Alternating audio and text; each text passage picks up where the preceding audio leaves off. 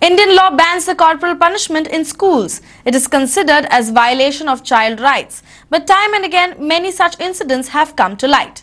In Margao, a 13-year-old student was brutally assaulted by his school principal.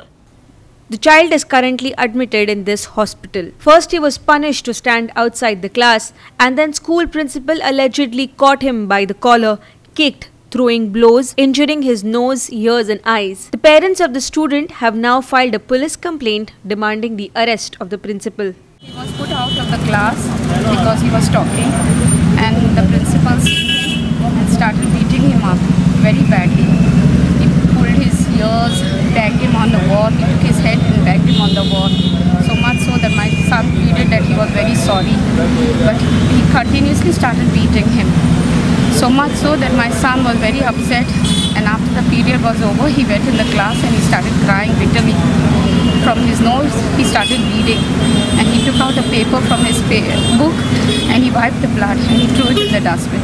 He caught a wrong bus and he landed at a wrong place and we as parents were searching for him up and down everywhere.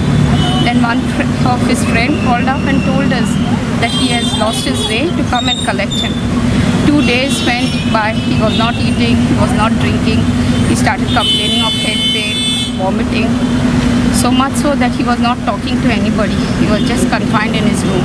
I asked him what happened. Saying nothing, nothing. Then on one fine day on the Monday morning, he was refusing to go to school. I asked him, why are you not going to school? You're a student who always goes to school. Why are you not going? He broke down and he told me, Mama, I was beaten up very badly by the principal. I said, for what reason? No, I was talking in the class, so the teacher put me out of the class. We received from the our complaint from the parents uh, of Margao that her son, age about uh, his son, age about 13 years, was assaulted by the principal of one of the school in Margao.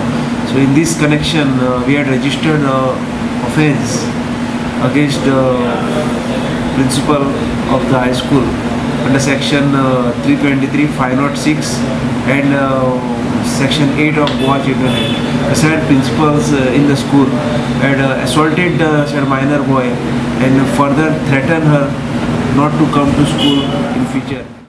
The activists have also taken up this issue demanding action against the school principal. इतलो तेका अशें मारप भुरग्याक म्हणजे it is a बीग crime actually आनी तो भुरगो आज हॉस्पिटलान आसा ही आवय बापूय तेजी पळय सामकी they are asking for the justice आनी आमी पुलीस स्टेशनार येयले जस्टना आतां पी आयन सांगलां. म्हणजे ते प्रिंसिपलाकूय आपयल्लो आनी तो प्रिंसिपल सांगता आपले बेश्टोच ताका मातसो एकूच ताबड मारलेलें म्हणून सांगता. आनी दीस इज ऑल लायज आनी आतां आमी रिक्वेस्ट केली पी आयक सगळे नॅरेट केली स्टोरी सो पी आय सांगता पी आयन आतां सांगलां एश्योर की as per the law this is a big offence आनी आपूण त्या कायद्या प्रमाणे आपूण सगळे with reporter Sandeep Tuvekar in Madgaon.